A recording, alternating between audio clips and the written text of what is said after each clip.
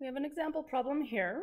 It tells us three long wires parallel to the x-axis carry currents as shown. If I is 20 amps, what is the magnetic field at the origin in terms of magnitude and direction? So by saying I is 20 amps, this top wire is labeled as 4I. So 4 times 20 means there's 80 amps up here. I'm not even going to worry about the logistics of having 80 amps. That's awfully large. But anyway, so 80 amps. 3I means there's 60 amps of current in the middle wire, and then I means this bottom wire has 20 amps. Since they're labeled as long wires, parallel, so these are long straight wires. So we can use the B of a wire in the test notes, it's written as mu naught I over 2 pi d. But again, d just means the distance from the wire to the point we're trying to calculate that magnetic field. I'm going to call this top wire wire 1, the middle one wire 2, the bottom one wire 3. So the overall magnetic field at the origin is simply going to be the magnetic field due to these three individual wires added together. Simply add them up. This equation gives us the magnitude only. It does not give us a direction. And we're running into my computer. Getting really slow. Again. So the magnitude is not terribly hard to find. So B1 mu naught, I remember the exact value, 4 pi times 10 to the negative 7. The units are Tesla meters over amps. The current in wire 1 is 80 amps divided by 2 pi, the d, the distance. So we're trying to find the field at the origin right here. So the distance d1 is simply the distance from where wire 1 is to the origin. So 2 meters. It doesn't matter that we have to go down below in terms of distance. Distance, we just, the number, how far. The direction matters in terms of the right hand rule and determining the direction of the field at that point, which we'll talk about that in just a sec. Let's just find the number here at the moment. So 2 pi simplifies that to a 2. So let's see.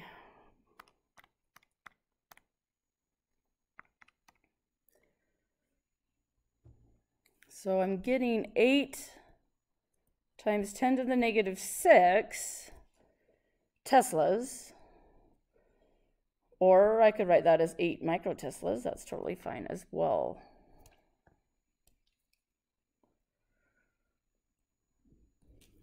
So that's just how strong the field is due to wire 1. That's not the direction. The direction comes by solving the right-hand rule or using the right-hand rule. As a reminder, we put our thumb in the direction of the current. So this arrow here is pointing to the right. So put your thumb, point it to the right. So your right hand, you point your thumb of your right hand to the right. Your fingertips show that the magnetic field is circling this way. Your fingertips are pointing at you if they're above your thumb. They're, if you want to twist your wrist down while keeping your thumb to the right, your fingertips would point away from you below your thumb. Well, the point, the origin is below our thumb.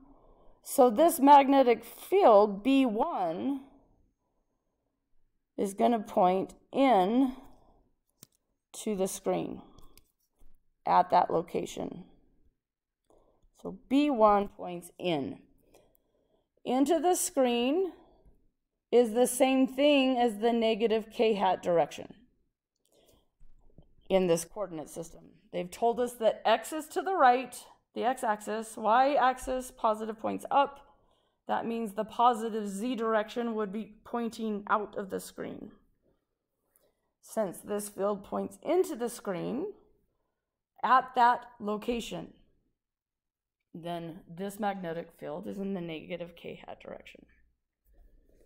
Now remember the field at a given point is just tangent to the circle. So we have to find the circular path of the field. That's what this represents, is the circles around the wire. But the point I care about is below. So tangent to the circle at that location would point into the screen. Wire 2, same equation,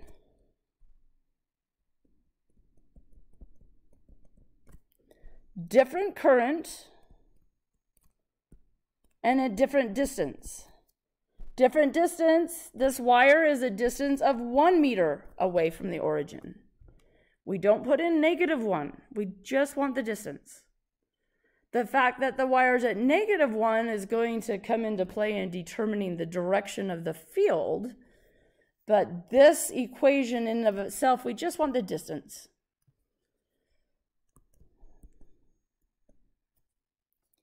So 2, 120, so 12, or 120 times 10 to the negative 7 Teslas, or 12 microteslas is the magnitude. This is bigger because it's closer. It's closer to the origin. Now the direction. The arrow representing the current points to the left. That means we need to take our right hand, take our thumb of our right hand, and point it to the left.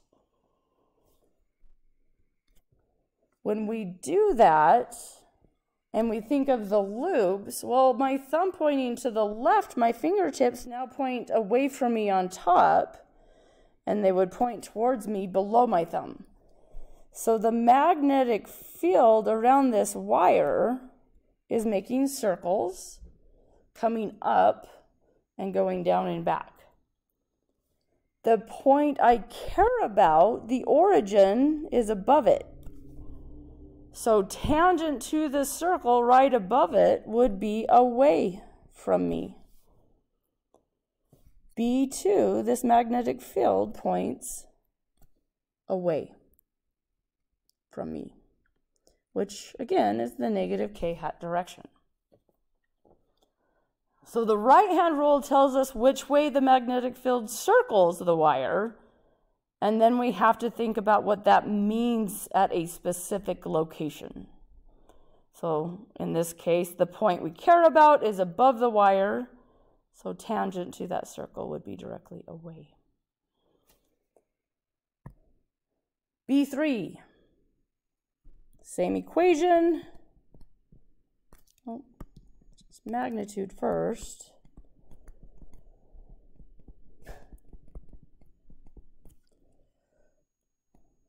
So mu naught, the current down here is 20 amps. The distance from the wire up to the origin is 3 meters. Again, we don't put the negative sign. We just want the distance. This one I will want my calculator for. So 1.33 times 10 to the negative 6 Teslas, or 1.33 microteslas. Direction. So the arrow down here is pointing to the right. If I take the thumb on my right hand I need point it to the right, my fingertips are curling this way. So towards me above my thumb, away from me below. The point I care about is on this side up here. It's above the wire. So tangent to that circle would point out at me. That would be the positive z direction. Now, something that might give a better view, let me change our view. Let's look at the wires.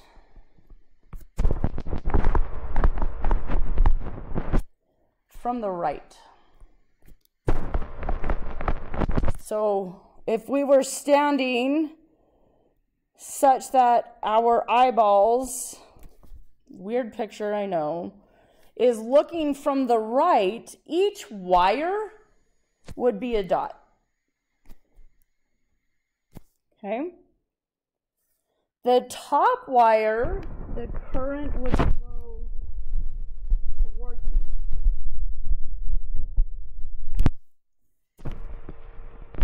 Okay? So if I put my thumb and point it towards me, my fingertips are showing that a circle would go counterclockwise.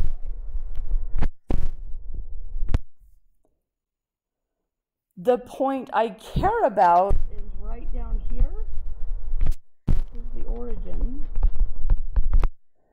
So tangent to the circle right directly below would be to the right from this viewpoint. But again, if my face is right here, to my right would be into the screen from looking at the wires from this side, from the original picture. This would be the negative z direction. Something pointing to the left would be the positive z direction. The middle wire from this new viewpoint would be carrying current away from me. I away. If I put my thumb away from me, my fingers show me that these circles around the wire are going to be clockwise. At the origin, the point right above it, tangent to the circle, would be to my right. That's why this one is also negative k hat.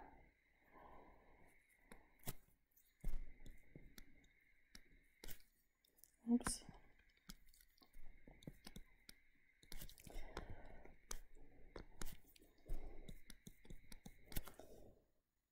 Finally, the bottom one would be carrying towards me. Oops. Sorry, the delay my computer is giving me is affecting my pictures here. So the magnetic field would circle this wire going counterclockwise. If I imagine drawing a circle big enough to go through the origin, counterclockwise, exactly at that location, would be to my left. So positive k hat. So sometimes it can help to just change our view, which direction we're looking for. The total magnetic field is just adding these together. This bottom one being positive, the other two being negative. So let's see.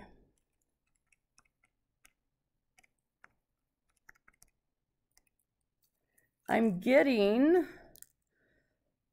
negative 18, or I guess I should round, so 19 microteslas K hat. So 19 microteslas, the negative is actually representative of the direction the overall magnetic field at the origin due to these three wires points in the negative z direction. It points into the screen. It has a magnitude of 19 microteslas. Okay.